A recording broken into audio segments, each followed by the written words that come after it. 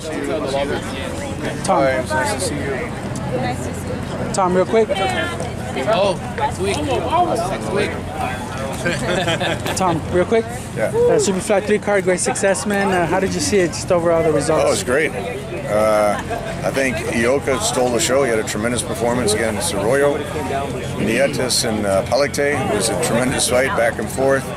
Um, and, and Estrada, what can you say? Estrada looked uh, looked great, and Orucuta really rose to the occasion uh, to be on HBO. So um, all three fights were great. The HBO triple header, the undercard fights were great, and uh, the fans loved it. Of course, you're the one who produces these great cards, very action packed. Um, what does the future hold for Superfly 4? I think uh, look, Chocolatito fights next week. He's the he's the pioneer of the Superfly shows.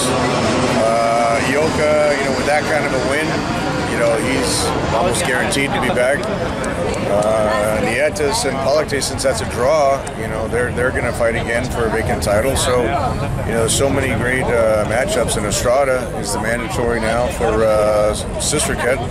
So it's really uh, a lot of great matchups in that in that division. What do you think will be next on that card? What would be the biggest fight? Is the possibilities of when we say Estrada 2 or Yeah, I think that that rematch is really. Uh, I mean, that that was such a great fight. I think that's a fight the fans look forward to. And uh, Sister supposed to fight in Thailand October uh, twentieth, and then uh, after that we'll have to see uh, what their plans is. But uh, everything that I understand is that WC will order that uh, that mandatory. Cool, it's a pleasure talking to you like always, Tom. See Appreciate see it. you Thank in you. uh, For sure. Thank you.